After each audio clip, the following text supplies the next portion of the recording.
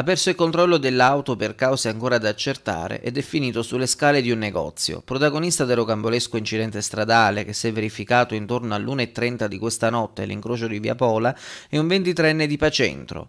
Il giovane, stando alle primissime informazioni, avrebbe fatto tutto da solo. Stava percorrendo via Papa Giovanni XXIII quando è arrivato all'incrocio tra Via Pola e Via Cappuccini e avrebbe perso il controllo dell'Audi A3 finendo sulle scale di un negozio. Fortunatamente il giovane automobilista non avrebbe riportato gravi conseguenze dopo l'impatto, anche se stato trasportato da un'ambulanza del 118 a pronto soccorso dell'ospedale cittadino per tutti gli accertamenti del caso.